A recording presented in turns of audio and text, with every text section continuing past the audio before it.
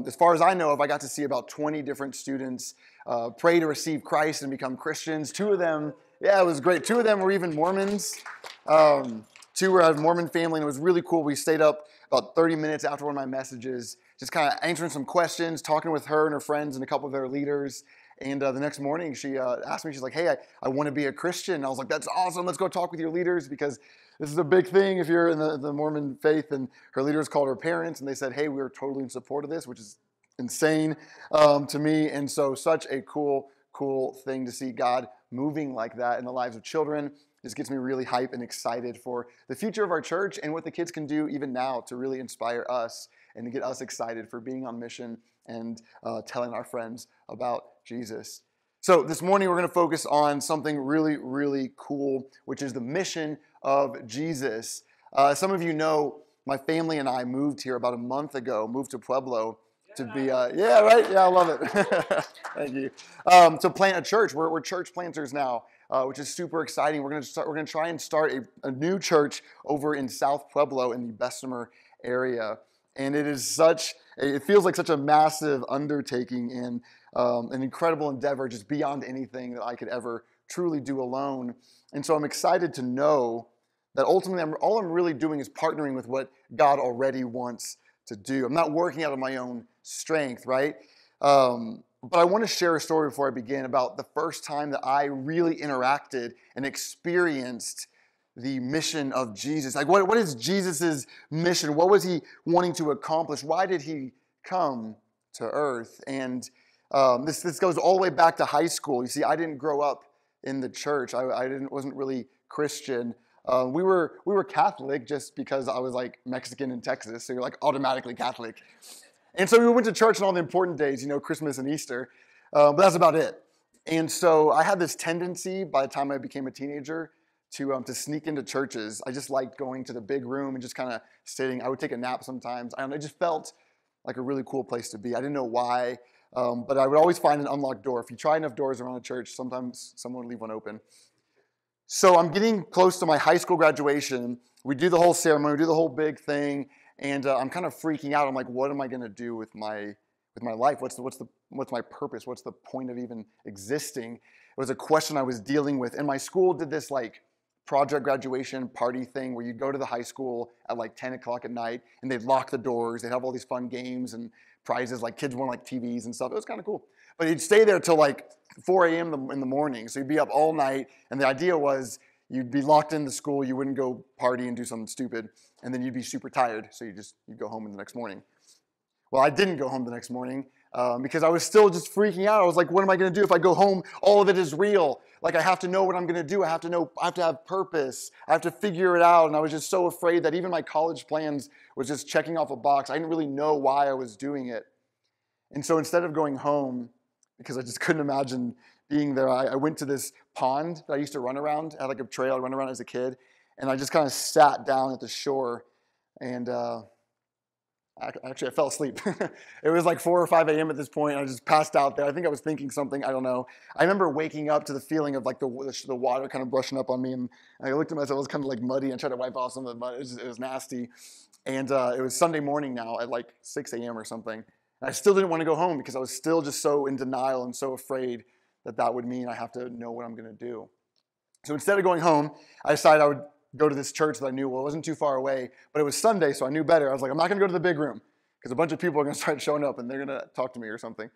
And so I found this little room off to the side. And I thought it's probably not that important, just a couple chairs, little picture of Jesus, no big deal. And uh, so I go into this room, I find some chairs off in the front, I just kind of lay down, just think about stuff, and I fall asleep again. I remember the feeling of this like hand kind of like gently trying to wake me up and I looked up and just saw this like elderly woman just beaming, smiling at me. And I was like, I'm so sorry. Like, I'll, I'll, go, I'll go. She's like, no, no, stay. I was like, no, I'm sorry. I didn't mean to be here. I shouldn't be here. Like, please don't call the cops. You know, because she probably, I mean, I probably like this homeless kid who just wandered in here. And, uh, and she's like, I don't know, she's maybe 70 or 80. She was, she seemed very, very old. And she was like, no, please stay. Please stay. And, and over the next 20 minutes or so, she told me that she was actually the, the director of their prayer ministry in this little meaningless room I had wandered into was actually their prayer room. I, I didn't know that there were rooms just for prayer in a church at the time. And, um, and it was so incredible because she began to tell me this, this message I'd never really heard before, or at least never heard the way that she shared it was, you know, there's this, there's this God and he loves you and, and Jesus cares for you and he has a purpose for you. He has a plan for you, Scott, and that, and that he's okay. He's not afraid of all of your mess. He wants to bring healing in your life and, and he wants to redeem and restore everything that is shattered. And I was just so blown away and taken aback by this message and honestly kind of freaked out because it was, it's uncomfortable to know that someone can love you that much. You feel almost undeserving at times. And I, I remember telling her thank you, and, and, that, and that was kind of it as far as she knows. She doesn't get to see the fact that, you know, years later I would, I would become a pastor and a church planter. Um, but, but that conversation with her, that meeting with her, set me on a path and on a journey that began my process of asking more questions, learning about Jesus, ultimately becoming a follower of Christ, all because this woman was willing to share with me about this love that God has for each and every one of us. This incredible goodness, like we just sang about. And so this morning, as we look at a passage where, where Jesus really revealed and exposed to everyone for the first time one of his main core principles, his mission for why he came, I'm really excited because I want to integrate and also tell you a little bit about how I'm going to try to integrate Lake Avenue, this church plant that we're starting, and how Lake Avenue is going to participate and join with the mission of Jesus here in Pueblo. And so we're going to be in this really cool passage where Jesus, he's, he's back in his hometown. So he's in Nazareth. He's coming through. It's on the Sabbath, and he's he shows up at church. You know, like this, the synagogue, basically. And uh, he's handed the scroll of Isaiah, the same scroll of Isaiah we have now. And he flips to a specific passage. It was a prophecy, hundreds of years old. It was, it was told from the perspective of the Messiah who would come. And as he finishes reading it, he says, Today, this scripture is fulfilled. Today, everything you've been waiting for, all of the promises of this, of this, uh, this, this scripture, all of the promises of this prophecy are in effect now. It all begins now, which is so, so exciting. Everything that people have been waiting for, everyone who knew this prophecy, it starts today. And so, as we begin to read through these few verses, these short, short passages that Jesus shared at the synagogue thousand years ago, I want you to keep that in the back of your mind. Today, this scripture is fulfilled. So, if you'll turn with me to Isaiah chapter 61. If you don't have a Bible, you can take out your phone, Google IS 61. That'll work too. And it'll also be on the screens behind me as well. So, Isaiah chapter 61. We're going to start in verse 1, and we're just doing three verses. Man, it's got some good stuff. Isaiah 61, verse 1. The Spirit of the Lord God is on me, because the Lord has anointed me to bring good news to the poor. He has sent me to heal the brokenhearted, to proclaim liberty to the captives and freedom to the prisoners, to proclaim the year of the Lord's favor and the day of our God's vengeance, to comfort all who mourn, to provide for those who mourn in Zion, to give them a crown of beauty instead of ashes, festive oil instead of mourning, splendid clothes instead of despair, and they will be called righteous trees planted by the Lord to glorify Him. Today, this scripture is fulfilled. Every one of these promises, Jesus says, goes into effect now. We have this. If you are a follower of Jesus, this is for you. If you're not a follower of Jesus or someone you love isn't a follower of Jesus, be excited because today the scripture is fulfilled. Jesus has come. And this needs to impact and affect everything that we do as followers of Christ and how we share the gospel and why we share the gospel. Our first point this morning is really simple here. The poor and brokenhearted are seen by Jesus. The poor and brokenhearted are seen by Jesus. And it's it's such a cool thing. You see, guys, Jesus wasn't walking around Jerusalem in the country looking, it wasn't like the NFL draft. You know, he wasn't looking for the 0.1% of the 1% best Christians. He wasn't looking for the five star candidate, the blue chip Christian who has everything together. Everything Jesus did was to demonstrate how accessible he was to anyone and everyone. I mean, the dude rode in to Jerusalem on a donkey when other, other men would ride in on chariots and stallions to show off how grandiose, how great they are. Jesus took a donkey. I mean, even, even a woman could reach out and touch the hem of his cloak. Children could run to him. He spent time even with lepers. Every single thing Jesus did was to demonstrate that anyone can come to him. All are welcome. You could be caught in the literal act of sin, like a woman who was caught in the middle of adultery, brought before Jesus. And after a brief conversation, he says to her, Is there no one left to condemn you? Then neither do I. Jesus is for the brokenhearted.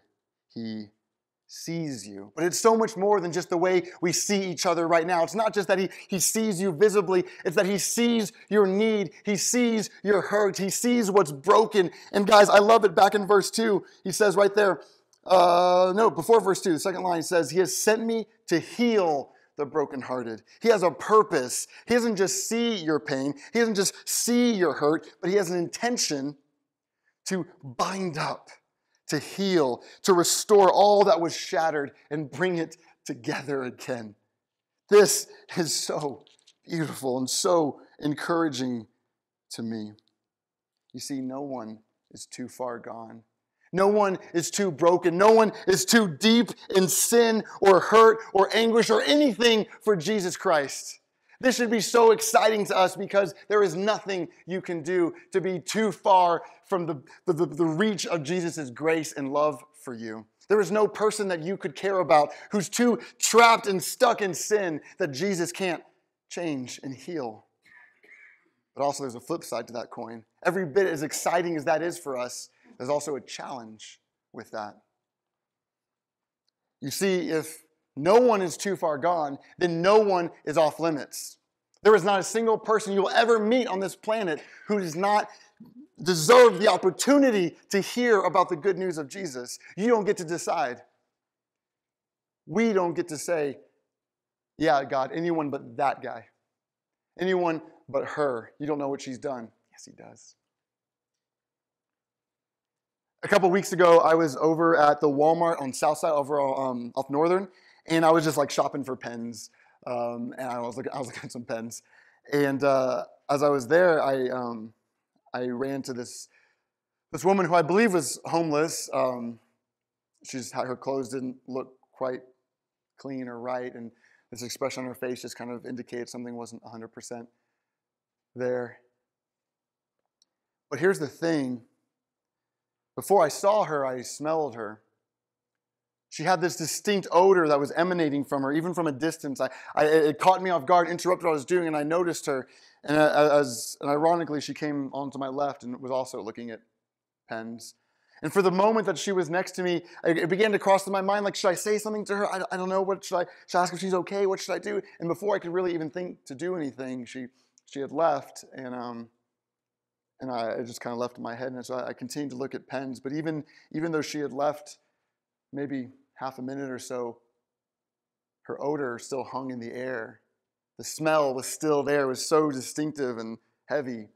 And I began to wonder to myself would this woman be welcomed at Lake Avenue?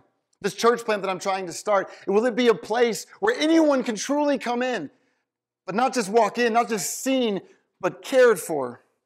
People invest and say, hey, how are you doing? I don't just see you sitting over there. I'm going to come and get into your life. Would she be welcome here? Or would she just be off to the side and we would keep our distance because that odor is so uncomfortable? No one is off limits. You see, Christians, we don't have the luxury to hold a grudge. We don't get to say, Yeah, God, I'll forgive everyone but that person. They're not worth it. You don't know how much they've hurt me. You don't know what they've done to me.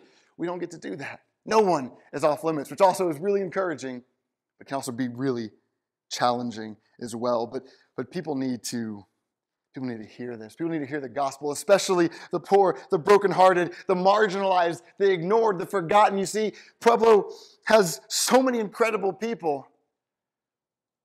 And are we really reaching out to them? Or are we just staying in our bubble? Are we taking this good news to them that Jesus cares for them, that they're seen, they're cared about? They're not just some shadow, they're not just a number on the side of the road. They're not just another loud voice arguing in the kitchen and you, when you're putting your trash out saying, eh, God, it ain't me. Got to get involved. We've got to take this message to them. And, and what better way to do it than what Jesus established for us? Take a look at this verse. It's Matthew 28, where Jesus says, Go. He's telling his disciples, He says, Go and make disciples of all nations. Baptize them in the name of the Father and the Son and the Holy Spirit, and teach them to obey all that I have commanded you. So, what do you think that looks like if a couple Christians get together and they say, hey, let's make some more Christians? And as we're making more Christians, let's teach them how to make more Christians. And let's baptize people, you know, like, like we do here in church. And you get a whole bunch of Christians trying to make more Christians. They're all baptizing, trying to talk and teach and more and teach, teach more and more about God. Guys, you're making a church. You see, statistically, church plants are filled with like 80% of the congregation are brand new believers. Church plants are reaching more and more new people because it's just, the, it's just like they have nobody. And so they're like, well, let's go talk to that guy on the curb. And he comes in, he's like, man, Jesus is great. I got to go tell my five buddies on the curb. And they all keep coming in. Our church plants are reaching tons and tons of people, and, we, and they also invigorate all of our other churches, and they need the support of healthy, stabilized churches. And we all work together. It's a great kingdom movement. It's a cool team effort that we get to do. And what an effective, incredible way to take the gospel to communities that desperately need to hear it. Here's our next point this morning. See, Jesus has even more. The captives of sin are freed by Jesus. The captives of sin are freed by Jesus. Now, this one seems pretty straightforward, right? Like we see it right there in the verse. Um, to proclaim liberty to the captives, freedom to the prisoners. Like, oh, I mean, that sounds great. You know, like we get that. People are free, no big deal. But I want to take a moment and let's make it a little more personal. Let's make it more tangible. When you look at those, when you look at that verse right there on the screen, right there in your words, take out the word captive, take out the word prisoner, whatever your Bible has there, and replace it with the name of someone you love, maybe a friend or a family member who, who just seems to be stuck and caught in the stranglehold of sin, who seems to be captured by this cycle of constantly making horrible choices or bad choices which hurt themselves or hurt the ones that they love. And you see that and you think about that and imagine what would happen if tomorrow morning they woke up and all of that was gone.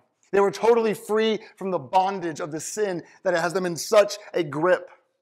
Imagine how incredible that would be. Put your own name there, whatever you're struggling with. Imagine if you knew and you had it for sure. If you don't know this already, imagine if you had all of the, the chains of whatever's holding you back from experiencing the fullness of Christ entirely gone. This is what Jesus has come for to free the captives of sin.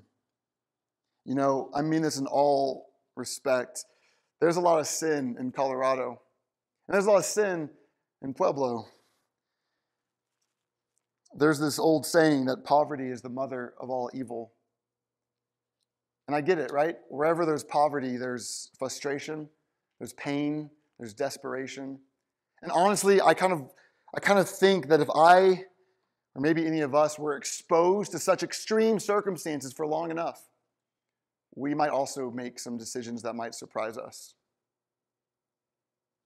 I've been trying to think how is Lake Avenue going to engage in this aspect of Jesus' mission to free the captives of sin.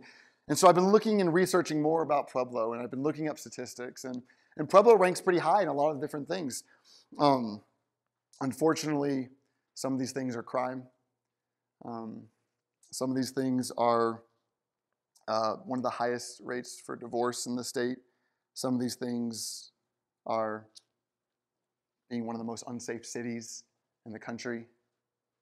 But these aren't things that Christians run away from. No, these are these types of things are things that Christians go to their knees in prayer for, praying to an epic God who can do epic things through those prayers, and we run toward it. We run toward the hurt. We run toward the pain. We run toward the anguish, the desperation, the frustration, and we bring the good news of Jesus. Why? Because Jesus came to free the captives of sin. We can't avoid these things. We pray and we respond. And I think to myself, the times that I've met more difficult people, more challenging circumstances, and I'm listening to them, I'm trying to give them the truth, I'm trying to tell them, and they, it just seems like I'm hitting a brick wall, and all I can feel is this if only you knew. If only you knew how good, how great, how magic, how like wonderful and marvelous the love of God is, you would be totally transformed. If only you knew. Have you felt that burden for broken people in your life? Have you felt the weight of that? You see, our churches must be prepared to fight for their souls. Jesus fought in this way that he who knew no sin became sin, that we might become the righteousness of God. He went and died in our place. That's an incredible act of self sacrifice and grace and love. And it gets even better than that. I love what happens right here. If you read, it says to proclaim the year of Jubilee or the year of the Lord's favor. It's in verse 2. There was this Jewish custom that the year of Jubilee would take place once every 50 years. And I didn't know anything about this, so I looked it up. I'm trying to Google it. I'm like, what is this all about? Once every 50 years, the whole concept of this year was this year of rest, essentially. That was the whole idea. But what would happen is if you were a slave, you were freed no matter what. If you were leasing out your land or your property to maybe make some money to pay some bills, it could all be given back to you because here's one of the coolest things every debt that you owed, no matter how small or how big, was totally wiped away. All of your debts were forgiven. It was complete forgiveness of debts. You could start the new year with a blank slate, brand new. No matter how bad of a hole you got yourself into, when the year of Jubilee came, wiped away. You could start the new year brand new. And Jesus says, I'm here to proclaim the year of the Jubilee is now. The year of God's favor is now. No matter what the depth of your sin might be, no matter how much you've gotten into a mess or hurt or pain, I am here. You can come to me. The year of God's favor is upon you. It starts today. The scripture is fulfilled. All can come. Debts wiped away.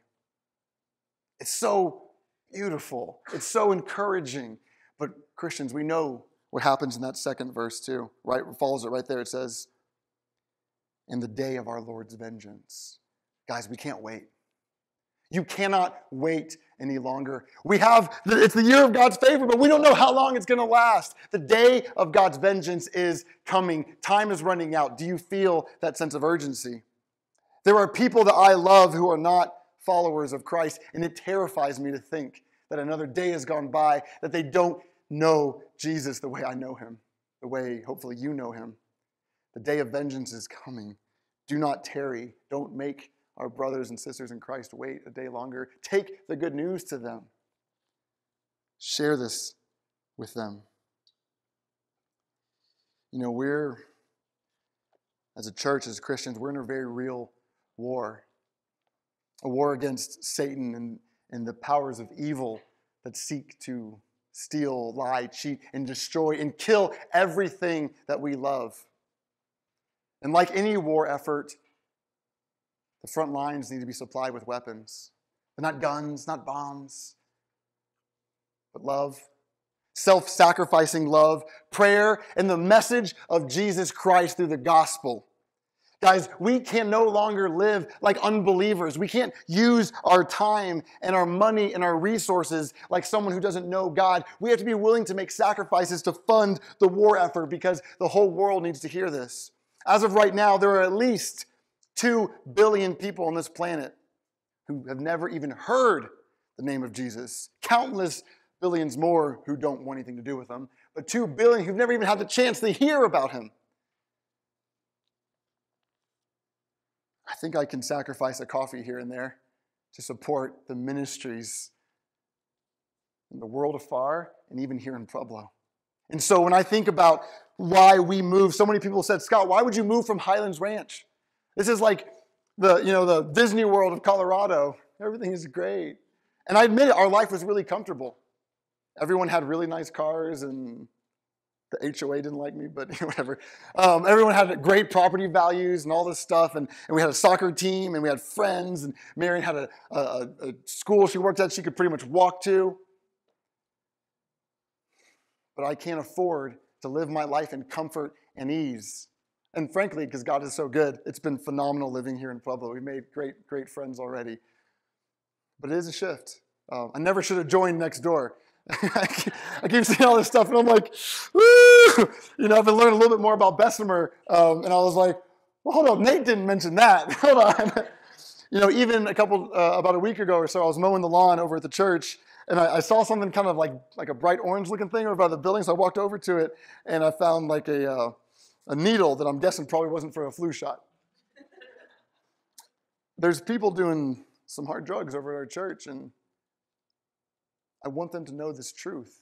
I want them to know the goodness of God, that they can be freed from all of the things that seem to bind them to their pain, bind them to their substance abuse, whatever it may be, they can be freed from it. And I believe it. I hope you do too.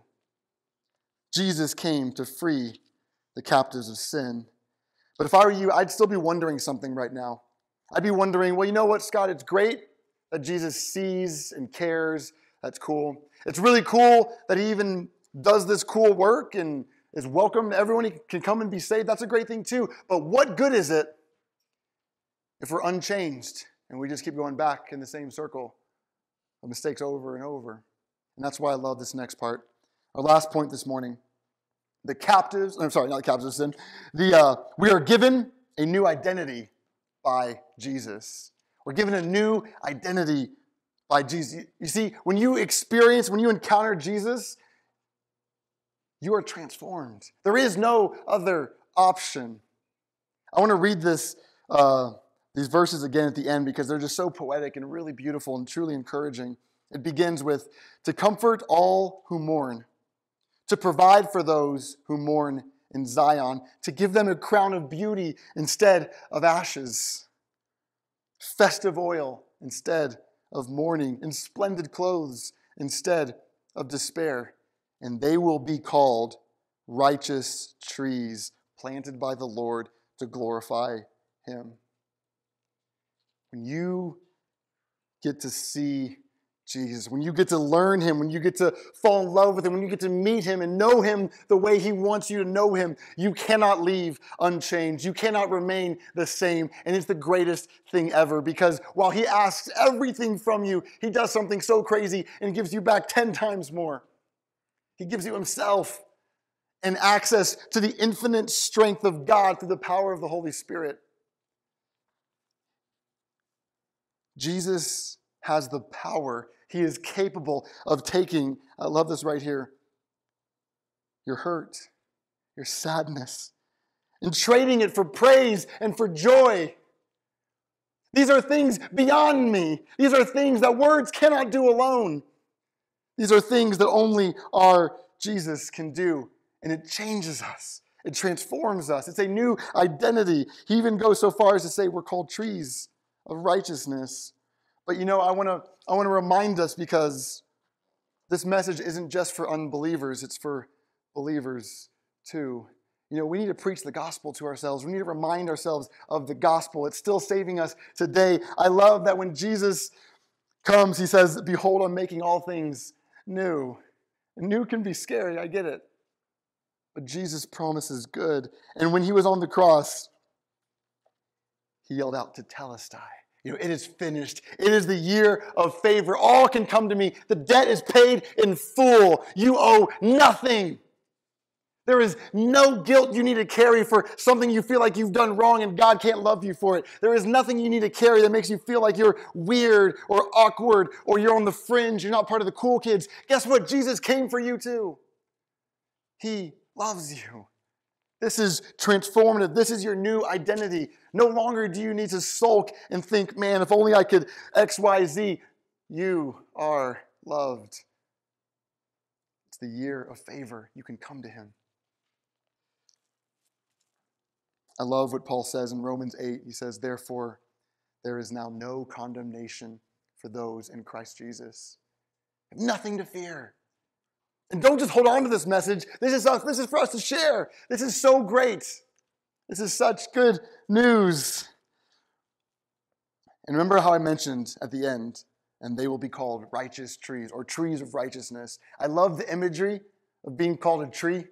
It's kind of fun because trees grow. Trees can grow.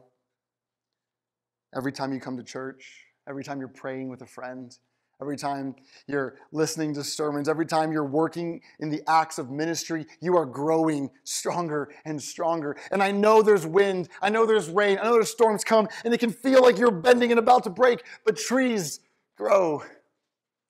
I've seen horrible fires ravage Colorado, and I've been able to go in with the first responders because I was doing video. And it's the most beautiful thing that comes from ashes. It's, it's black everywhere in soot, and then you can see these almost little, almost little sparks of green, almost maybe even little tree buds coming out of the ash. Not even days, sooner than that. God, behold, I am making all things new. Trees grow. And I love this other encouragement for the believer. In Jeremiah chapter 7 or 17, Jeremiah also talks about being, tree, being like a tree. Listen to this. For the person who trusts in the Lord, whose confidence indeed is the Lord, is blessed.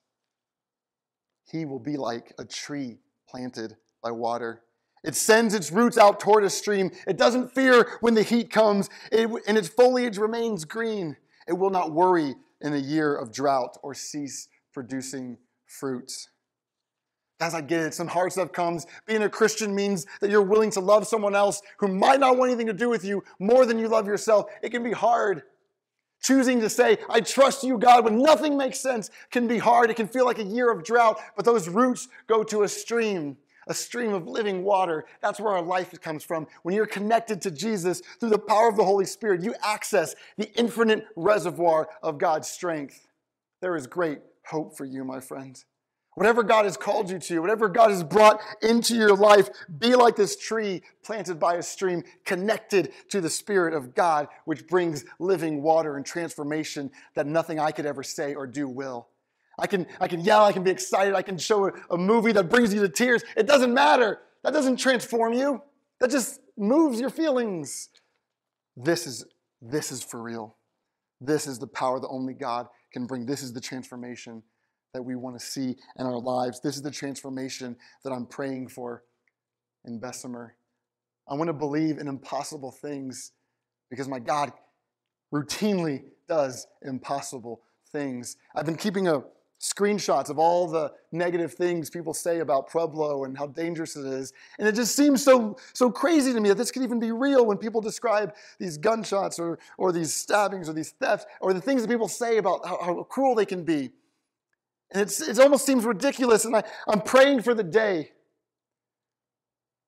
when it becomes so ridiculous that that was ever a part of Bessemer. That, that things are so transformed. There's so much hope and there's so much saturation of the gospel and so much of the goodness of God that people are like, how could that have ever been this place? How could that have ever been the same place? How could there ever be like that? Because it's so good now. It's everything that people have wanted it to be. I want to be part of what God is already doing I want to learn the dreams that people have in that community and how the gospel can help connect them to go even beyond what they think is possible. I want to hear about the hurt and tell them that Jesus has come to bind up the brokenhearted, to, to collect the shattered pieces. Guys, I want to share with y'all my dream for this, this, this new church plant. I dream to be standing on a Sunday morning and, and just praising and worshiping God with, with a hundred believers in this vacant space right now. It doesn't even have carpet.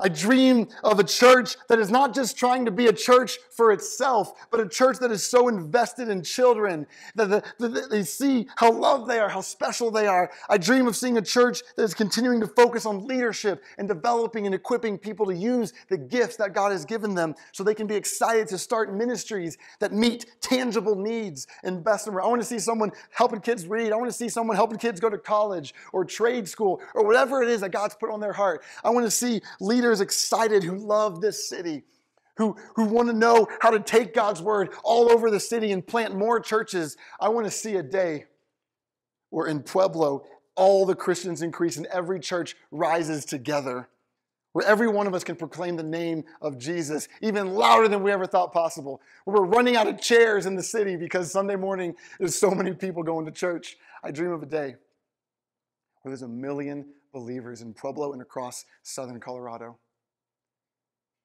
Guys, let's make heaven crowded. Don't make our future brothers and sisters in Christ wait any longer. Take the mission of Jesus to heart, join him. And let's see this place transformed unlike anything we've ever seen or believed before. Let's pray. God, thank you so much for sending Jesus, that he would come and care about the broken, the hurt, the lonely, the ones who aren't strong enough to impress the world and what the world standards may be. God, thank you for giving a voice to the voiceless, for not just seeing, but caring and actively making a difference in the hurt in our lives. Thank you for having the power to do something about it, to proclaim the year of your favor and welcoming and inviting everyone into your presence. Jesus, that's me. That's so many of us in here right now. We know the truth. Your Holy Spirit showed it to us, the depth of our need. And Jesus, I am so excited to see more churches and more Christians all across Pueblo taking this gospel truth to people who need it. The hard places, the dangerous places, the scary places. Your light can push out all darkness. We believe this to be true. Incite us, empower us, encourage us that no one is off limits. Let that be a challenge and an empowering statement for ourselves. For you Nothing is impossible.